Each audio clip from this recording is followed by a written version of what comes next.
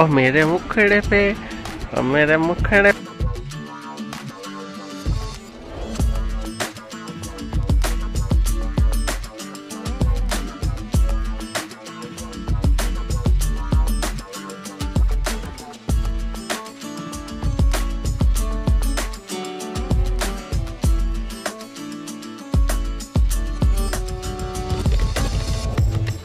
hello guys welcome back to my channel कैसे हैं आप सब? आई होप आप सब अच्छे होंगे। एंड मैं आ गई हूँ आपके लिए एक और नया व्लॉग लेकर। तो गाइज़ ये है संडे की मॉर्निंग और हस्बैंड मेरे से पहले उठ गए थे। ये योगा भी कर रहे थे। उसके बाद मैं आज थोड़ा सा लेट तक सोई क्योंकि आ, मुझे आज ऐसे लग रहा था कि संडे है ना तो मैं थोड़ा सा लेट तक सोऊँगी। और मैंने इनको बोला प्लीज़ चाय दे दो और चाय मतलब नाश्ता दे दो जो भी है ब्रेड वगैरह का।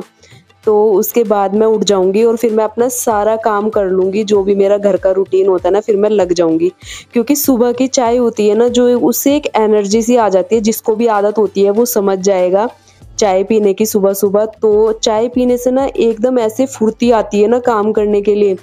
तो ये देखिए हस्बैंड ना पीनट बटर लगा के ब्रेड भी ले आए और साथ में चाय और ये ड्राई फ्रूट ले आए। बट मुझे ना ड्राई फ्रूट सुबह सुबह अच्छे नहीं लगते। बट अब क्या करूँ? इन्होंने ना ब्रेड पे लगा दिया है तो अब मुझे खाने पड़ेंगे ये।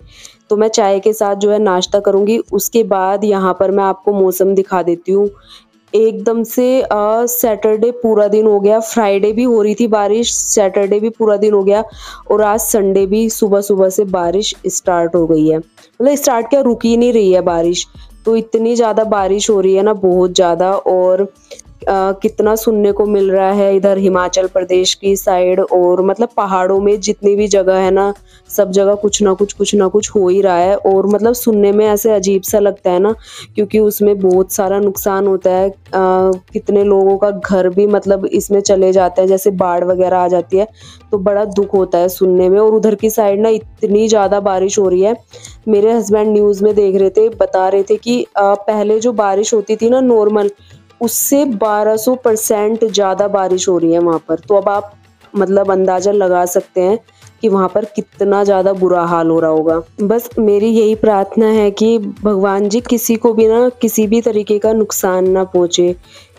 तो बस मैं तो यही मतलब बोल सकती हूँ और आप लोग भी इसी तरीके की प्रार्थना कीजिए क्योंकि उधर ना बहुत ज़्यादा बुरा हाल है। तो गाइज़ नाश्ता करने के बाद मैं सीधे आ गई थी किचन में तो एक बार मैं काउंटर टॉप और गैस स्टोव को ना मैंने क्लीन कर दिया है, क्योंकि ज़्यादा गंदा तो था नहीं और नाश्ता कुछ ऐसा बना नहीं। तो जो चाय वगैरह बनी थी ना, उसी को मैंने मतलब अच्छे से एक बार क्लीन कर दिया है, जो सुबह के रूटीन में होता है ना। क्योंकि फिर दोपहर को जो भी चीज़ होती है ना, उसके बाद अगर किचन में जाओ ना साफ़ सुथरे में तो मन लगता है। तो एक बार का जो है, सुबह का मैंने क्लीन कर दिया है वहाँ से, उसके बाद मैं आ गई हूँ लिविंग रूम में।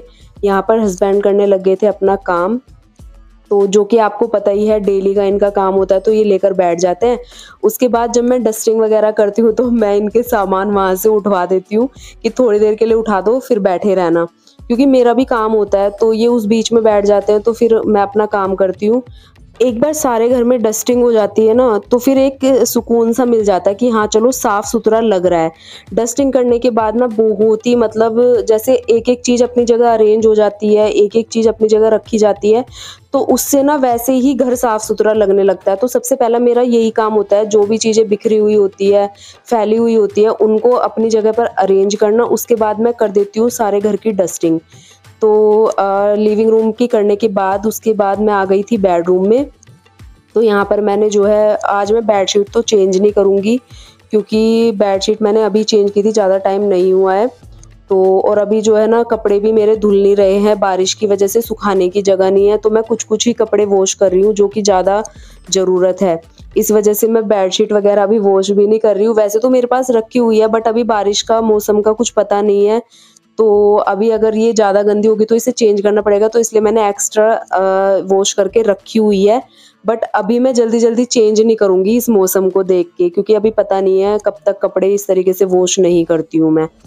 तो बस उसके बाद सारे घर की मैंने कर दिया डस्टिंग मैं आ गई थी यहाँ पर किचन में और यहाँ पर मैंने ना गर्म पानी में जो डस्टिंग के कपड़े होते हैं किचन के कपड़े मैंने एक टावल में से बना के रखे हुए हैं।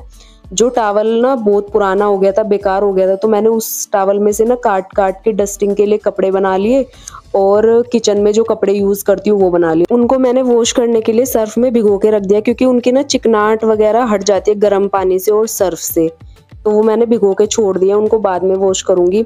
फिर मैंने यहाँ पर सारे घर का झाड़ू पोछा करके ना फिर मैं सीधे नहाने चली गई थी क्योंकि आज ना थोड़ा सा काम को लेट हो गया था। मैं थोड़ा सा लेट उठी थी आज। उस वजह से तो लंच का टाइम भी हो गया था। तो मैं जल्दी जल्दी से ना शार लेके आई और मैं सीधे लंच बनाने के लिए आ गई। फिर मैंने बीच में कोई शूट भी नहीं किया था। उसके बाद जब थोड़ा टाइम एक्स्ट्रा लग जाता है ना चीज़ों में आ, कई बार हो जाता है कि शूट नहीं कर पाते हैं। और फिर ये होता है, जल्दी जल्दी काम कर लो अपना दोपहर का। तो बस मैंने वहीं से फिर शूट करना स्टार्ट कर दिया था। तो आज लंच में मैं बना रही हूँ मिक्स दाल, क्योंकि आजकल ना हम सब्ज़ी लेके ही नहीं आ रहे हैं। कल हम लेने भी गए थे सब्ज़ी बट सब्ज़ी देख के ना बारिश में मुझे मन ही नहीं किया सब्ज़ी लेने का। पता नहीं मुझे क्या हो गया, मैंने इनको मना कर दिया। हम शॉप पे से वापस लौट के आ गए, क्योंकि मेरा सब्ज़ियाँ देख के ना बारिश में इतना मतलब मन ऐसे हो गया था कि कोई भी सब्ज़ी मुझे ढंग की नहीं लग रही थी। तो अभी मैं सब्ज़ियाँ लेकर नहीं आई आई, मौसम थोड़ा ठीक हो जाएगा ना, तब मैं सब्ज़ियाँ लेने जाऊँगी। पता नहीं मेरा क्यों मन नहीं करता है ऐसे मौसम में सब्ज़ियाँ लेने का, क्योंकि सब्ज़ियाँ देखने में भी अच्छी नहीं लगती है, खाने में तो दूर की बात है। तो बस मौसम ठीक हो जाएगा, तब देखते हैं सब्जियों का। तो अभी यहाँ पर मैंने जो है दाल के लिए मसाला जो है बना लिया है अच्छे से तो उसको मैंने ढक के पकाया है। और जितनी देर आप मसाला पकाते हो ना, सब्जियों में उतना ही ज़्यादा टेस्ट आता है। तो ये देखिए, मसाला मैंने बिल्कुल अच्छे से पका लिया है। जैसे ऑयल सेपरेट हो जाता है ना, तब पता चल जाता है कि मसाला अच्छे से पक गया। उसके बाद मैंने यहाँ पर बॉइल्ड दाल जो है वो ऐड कर दी है इसमें। और इसको भी मैं एक बॉयल आने तक पकाऊँगी। और उसके बाद बनानी है मुझे रोटियाँ।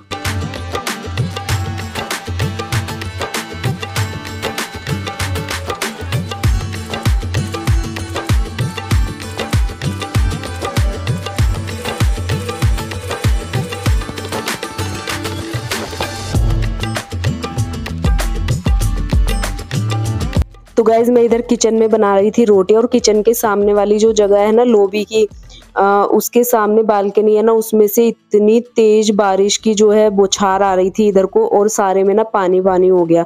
तो यहाँ से ना जब इधर की साइड की बारिश होती है ना मेरी बालकनी की साइड की तो बहुत ज़्यादा तेज अंदर पानी आता है और यहाँ पे ना बार बार निकालना पड़ता है पानी।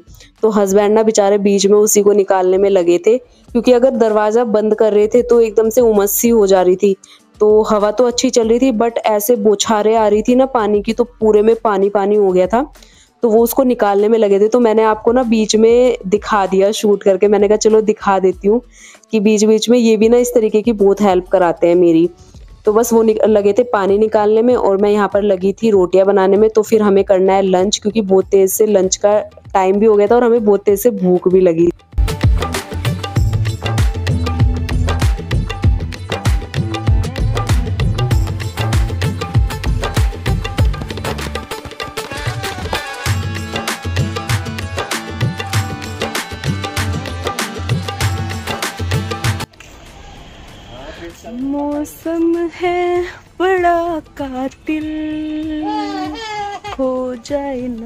कहीं दिल। वाओ।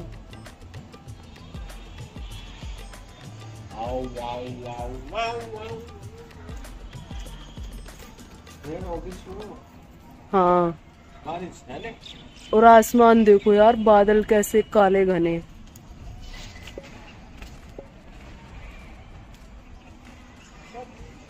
पूरा बादल जो है एकदम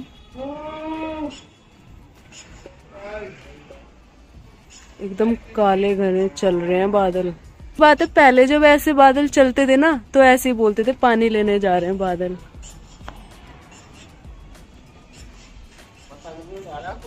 और गाइस ये बैठे मेरे पति देव गाइस हेलो गाइस गाइस मुखटा दिखा, मुखटा। ओ, मेरे मुखड़े पे, ओ, मेरे मुखड़े पे। ओ मेरे मुखड़े पे टे टू टू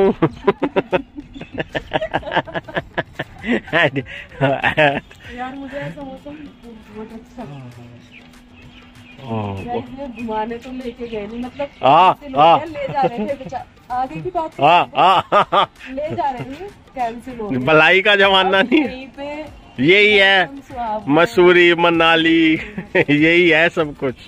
नैनीताल। नैनीताल डलहौजी मसूरी। धर्मशाला। सब यही।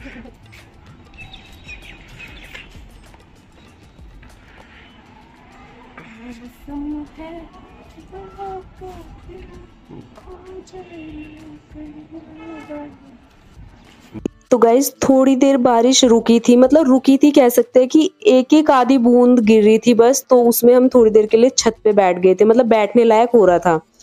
तो जैसे ही हम 10 15 20 मिनट बैठे ना, उसके बाद जो तेज से बारिश आई है ना तो फिर हम लोग नीचे आ गए शाम के टाइम, और आके फिर दूध वगैरह भी आ गया था, और आज तो दूध भी ना गाय का मिला है, क्योंकि जो फुल क्रीम मैं लेती हूँ ना, वो खत्म हो गया था शॉप पे, हमने सुबह बोला नहीं तो वो उनका सारा जो है निकल गया। तो अभी आंटी ने फ़ोन किया था कि गाय का दूध है तो फिर चाहिए तो था, फिर मैंने वही मंगवा लिया। तो अभी दूध बॉयल होने के लिए रख दिया। उसके बाद यहाँ पर अब मन हो गया है, क्योंकि आजकल मौसम ऐसे चल रहा है ना, बारिश बारिश बारिश तो ऐसी, ऐसे मौसम को देख के ना कुछ ना कुछ अच्छा ही खाने का मन होता है। कभी कुछ खाने का मन होता है, कभी कुछ। तो गाइज़ आज मैं बनाऊँगी मैक्रोनी और मैक्रोनी को ना मैंने ऑयल और नमक डाल के ना बॉईल होने के लिए रख दिया है। उसके बाद यहाँ पर मेरा दूध भी उबल गया है और दूध को ना मैंने खड़े होके उबाला है, क्योंकि ना जरा सी भी नज़र हटती है ना, मेरा दूध जो है बिखर जाता है। उसके बाद गैस, स्टोव वगैरह सब गंदा हो जाता है, जो कि कई बार मेरे साथ हो चुका है तो अभी ना मैं दूध को ना खड़े होके उबालती हूँ। जब तक दूध ऊपर उबलते रहता है ना, ऊपर आते रहता है तो मैं वहीं खड़ी हो जाती हूँ। मैंने कहा, ये हो जाएगा ना, तभी दूसरा काम करूँगी कुछ।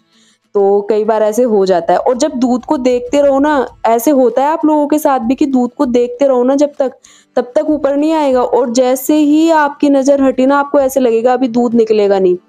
फटाफट से ऐसे निकल जाता है ना, मेरे साथ तो बहुत होता है। ऐसे मुझे कमेंट करके बताना, आप लोगों के साथ भी ऐसे ही होता है कि जब आप दूध बॉयल करते हो। मेरे साथ तो मोस्टली ऐसे ही होता है गाइज़ तो उसके बाद जब तक हमारी मैक्रोनी जो है बॉईल होगी और तब तक मैं कर लेती हूँ ये बर्तन वॉश क्योंकि फिर मेरा काम थोड़ा इजी हो जाएगा। क्योंकि रात में डिनर में तो कुछ बनना नहीं है। डिनर में तो हस्बैंड ने मैक्रोनी बनाने के लिए ही बोला है। उनको भी अच्छी लगती है और मुझे भी, और काफ़ी टाइम बाद मैं बना रही हूँ, क्योंकि ये सब चीज़ें ना मैं रोज़ रोज़ नहीं बनाती। जब मौसम अच्छा होना और जब ज़्यादा ही मन करता है खाने का, मैं तब बनाती हूँ। तो काफ़ी दिनों बाद आज मैं मैक्रोनी बना रही हूँ। तो यहाँ पर मैंने देखे सारे बर्तन भी जो है अच्छे से वॉश कर दिए हैं।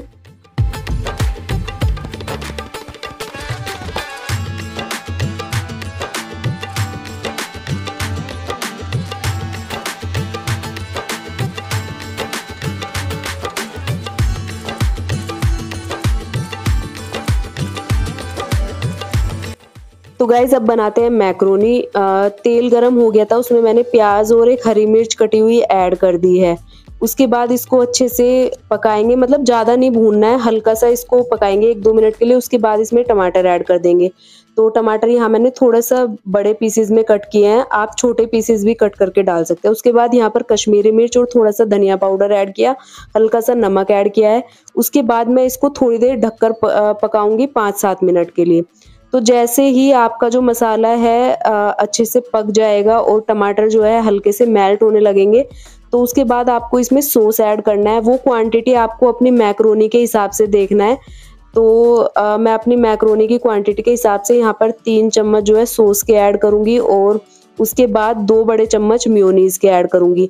म्योनीज इसमें बहुत ज़्यादा टेस्टी लगती है, उससे ना क्रीमी टेक्सचर आता है, बहुत टेस्टी और उसके बाद यहाँ पर मैंने चाट मसाला ऐड किया है, उसके बाद यहाँ पर कर दूँगी मैं बॉइल हुई मैक्रो मैक्रोनी ऐड एंड इन सारी चीज़ों को ना अच्छे से एक बार मिक्स कर देंगे।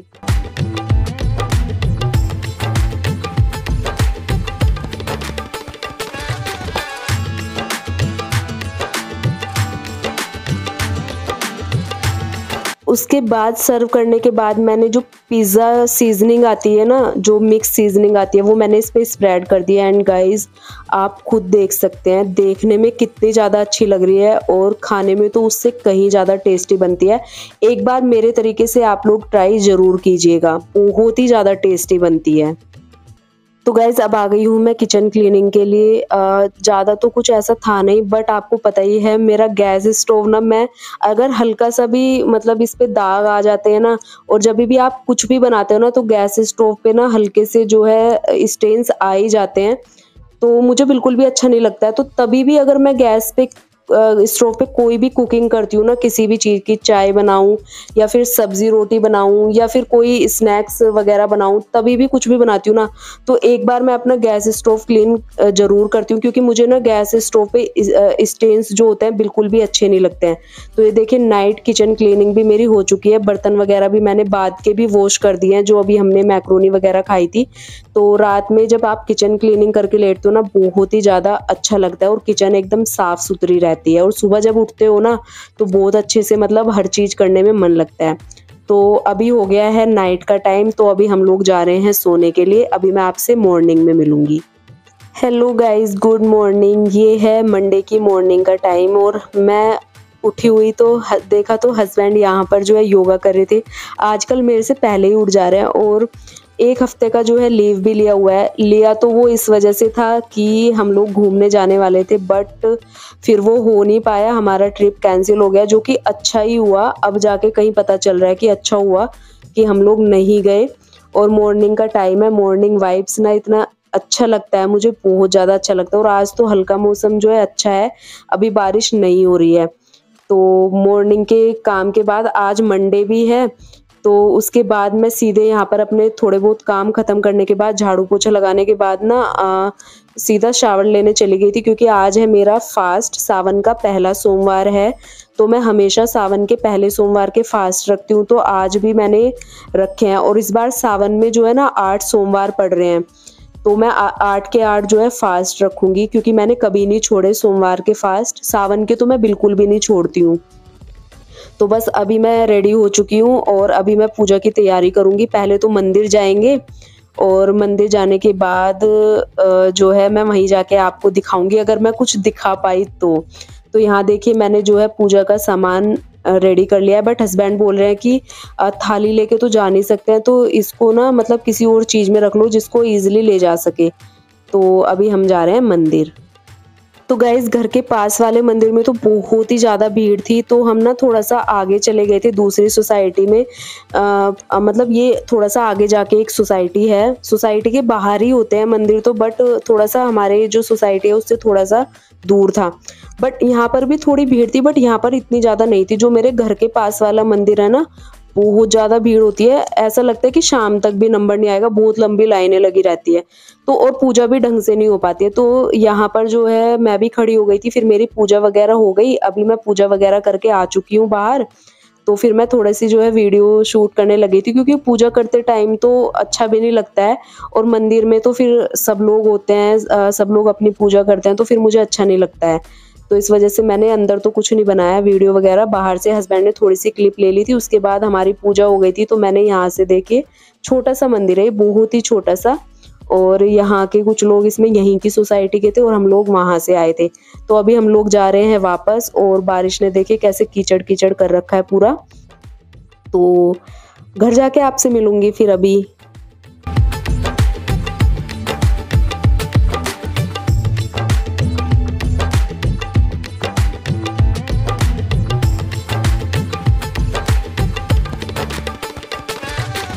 तो गाइज़ अब मैं घर में भी पूजा करूँगी क्योंकि मंदिर में मैं अभी पूजा करके आ गई हूँ तो घर में भी बहुत ज़रूरी है तो अभी मैं एक बार पूजा कर लेती हूँ फिर आपसे मिलती हूँ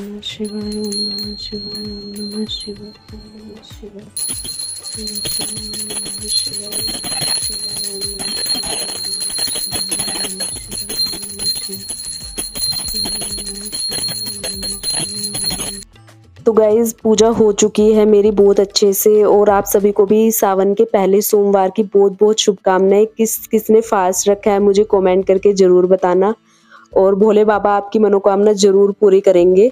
उसके बाद यहाँ पर जो है मेरा फास्ट है और हस्बैंड के लिए मैं खिचड़ी बना रही हूँ क्योंकि उन्होंने बोला आप खिचड़ी बना दो तो यहाँ पर मैं उनके लिए खिचड़ी बना रही हूँ। तो खिचड़ी बनाने के बाद मैं जाऊँगी थोड़ा सा रेस्ट करने के लिए और गाइज़ ये वाला व्लॉग मैं यहीं पर अब एंड करूँगी। क्योंकि व्लॉग फिर ज़्यादा लेंथी हो जाएगा। काफ़ी लेंथी हो भी चुका है। तो आप लोगों को मेरे व्लॉग्स कैसे लगता है, मुझे कमेंट करके ज़रूर बताया कीजिए गाइज़ तो अपनी फैमिली और फ्रेंड्स के साथ मेरे व्लॉग्स को शेयर ज़रूर करना। मेरे फैमिली व्लॉग्स होते हैं। तो मिलूँगी आपसे नए व्लॉग में, तब तक के लिए bye bye and take care channel को सब्सक्राइब कर देना।